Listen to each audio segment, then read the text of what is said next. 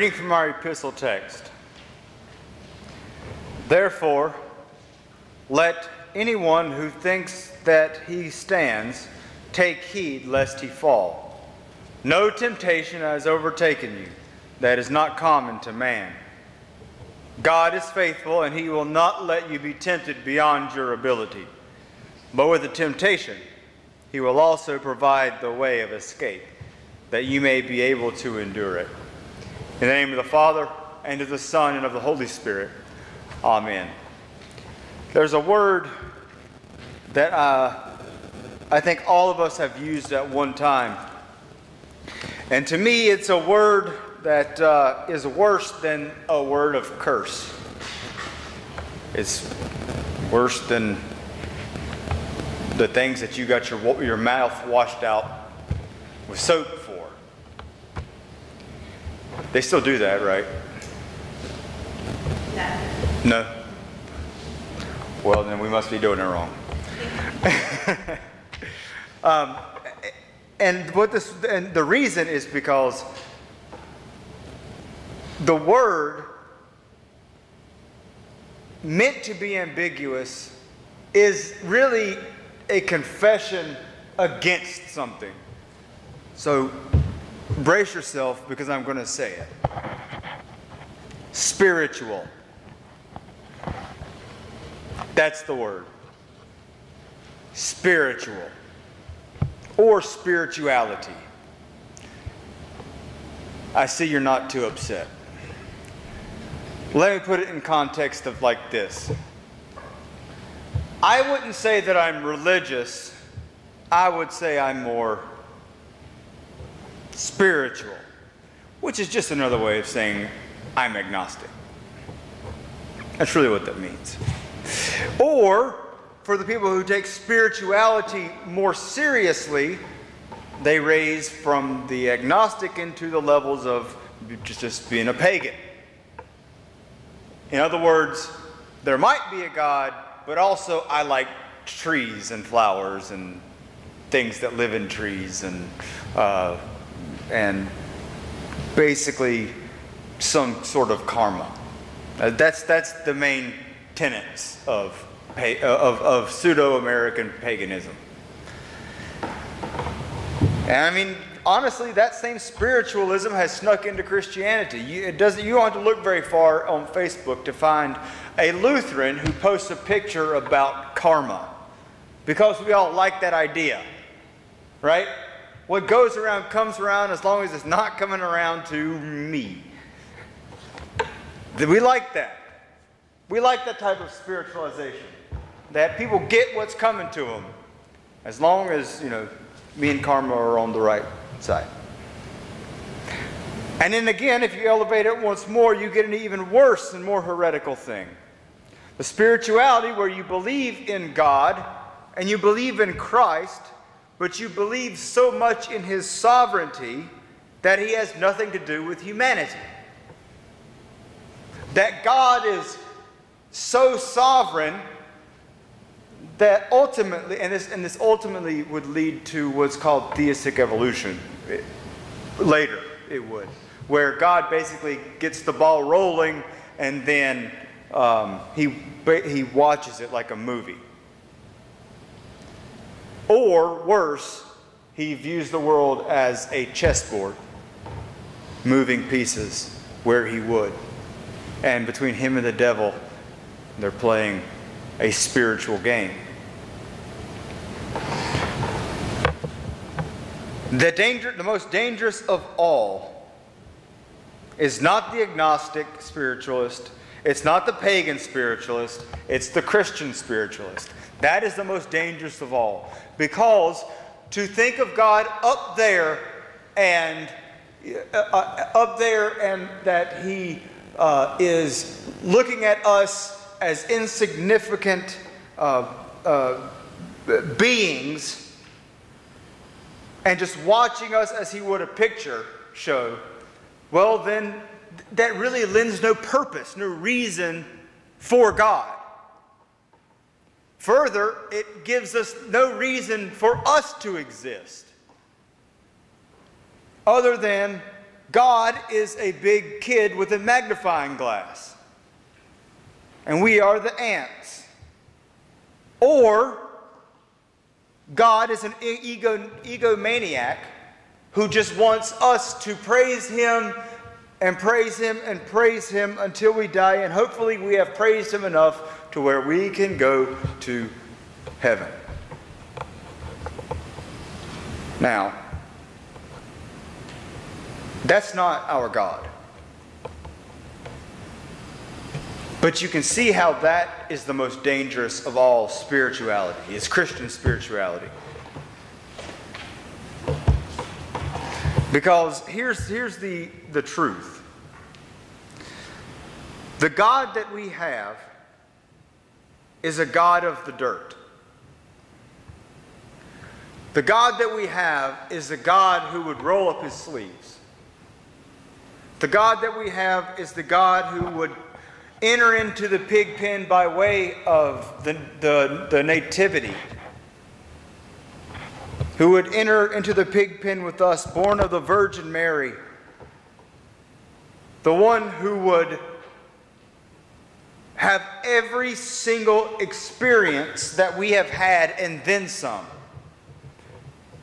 When you think about Christ and his incarnation, you cannot think outside, well, we should not think, or we should not spiritualize Christ outside of both his divinity and his humanity.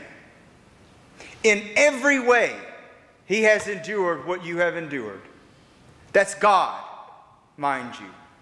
Not the God of, of up there looking down, but a God who would actually get involved.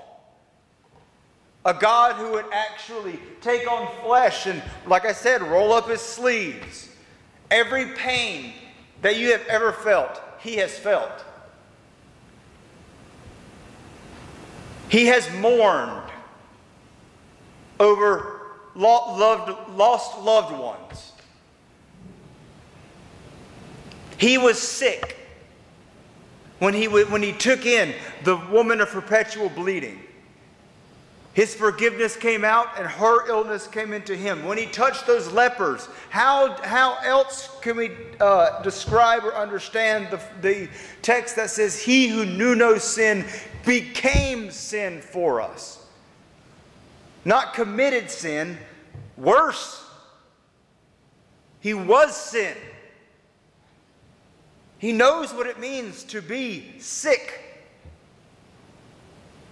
He knows what it means to live every day preaching and teaching with the one who is going to betray him every single day. He knows what it means to be falsely accused. He knows what it means well, he knows what politics does. He knows how things can be manipulated into a false, guilty verdict.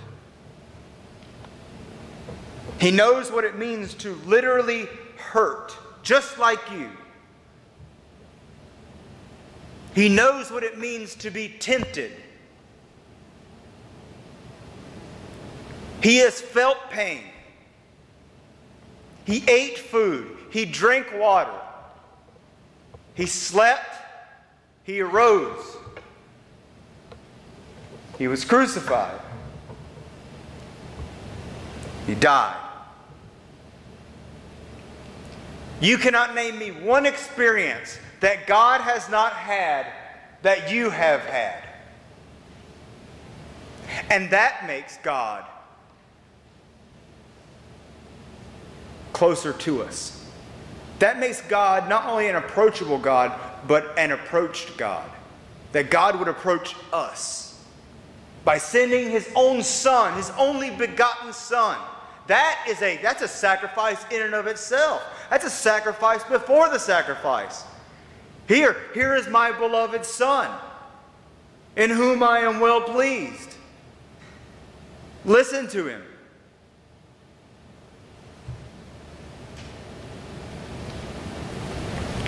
Clearly, they didn't get the message.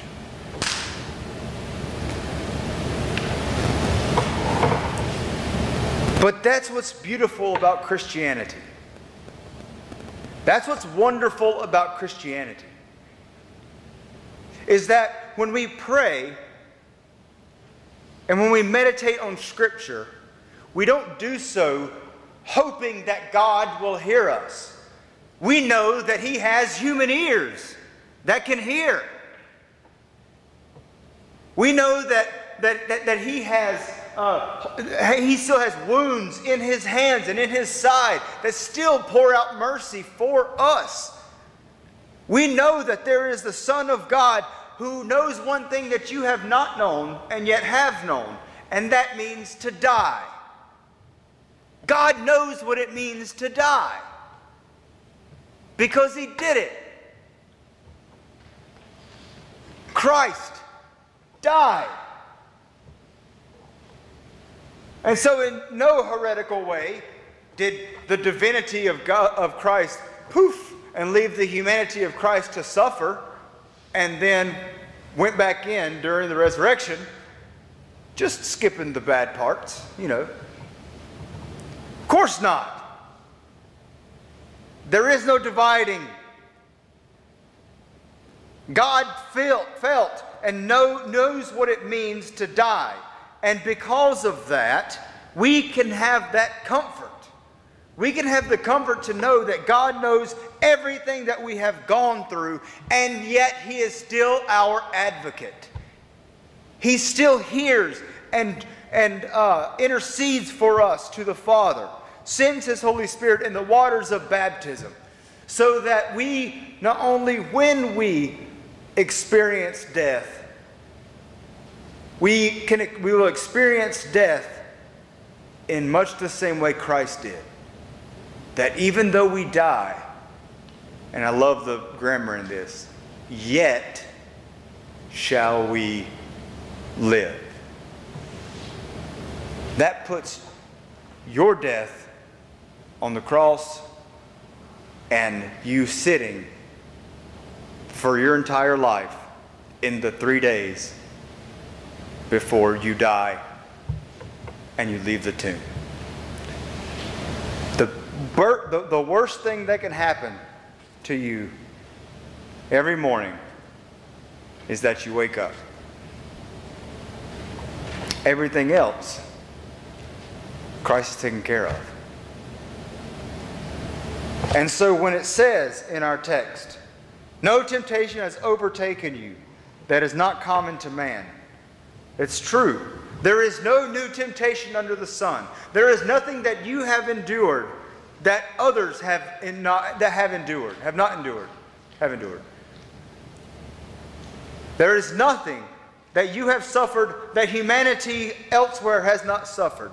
There is no sin that you have committed that has not been committed before. You have not suffered in any unique way.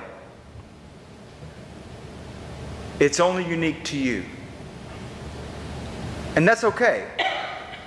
That's what we understand as experience. But what gives us hope and the ability to stand firm when we're being tempted is that Christ was too. In every way, Jesus Christ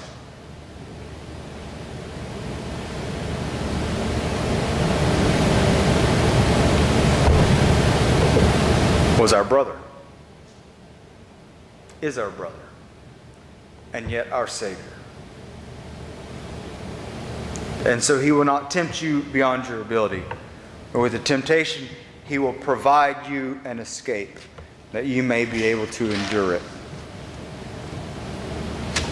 And so, what is that escape? Death. That is how you escape temptation you die. But because of what Christ has done, He is not a God that's far off, but He's a God who's very near. And in that very nearness, we, we understand the forgiveness of sins, and we understand that while we live in this life of temptation, there is more.